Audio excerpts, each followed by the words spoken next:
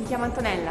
Io sono Matteo. Indirizzo artistico. Conservazione dei beni culturali, indirizzo storico-artistico. Vorrei occuparmi sempre del campo dell'arte e magari mm, diventare anche critica d'arte, insegnare comunque storia dell'arte.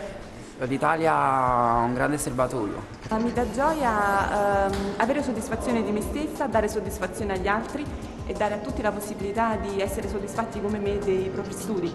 Tutto quello che mi circonda mi rende felice.